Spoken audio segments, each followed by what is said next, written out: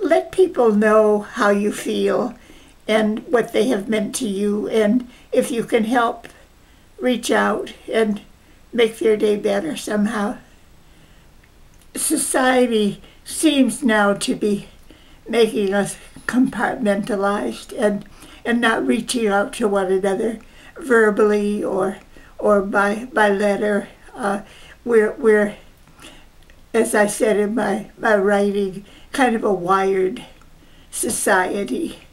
And I'm afraid that even as they consider not teaching cursive writing anymore, that there are certain skills and methods of reaching out to others that are diminished and lost. And I think seniors uh, ought to help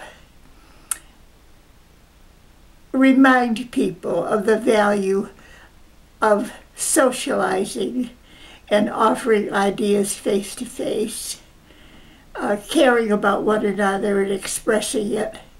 I, I, uh, I say if I were cut, I would bleed ink because I just express myself daily uh, to people in letters and notes. Uh, I keep a standing pile on my kitchen table, clipping things from the ledger, and and uh, I salvage my newspapers. I, I send clippings to people uh, that I think will amuse them or enhance them somehow, encourage them.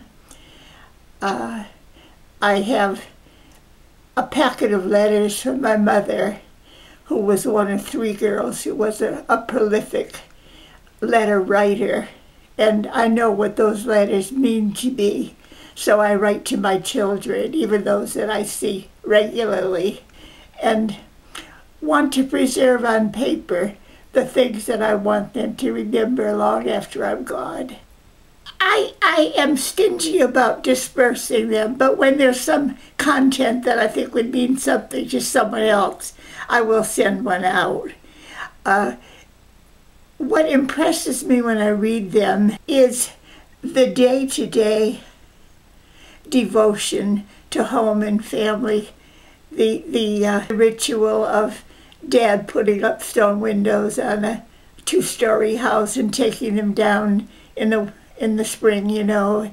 Uh, mom spending the day uh, washing blankets and curtains and putting them out on a, a curtain stretcher uh, outside so that they will dry without wrinkles. Uh, the, the, all that our parents did as a matter of everyday dedication, not a lot of verbal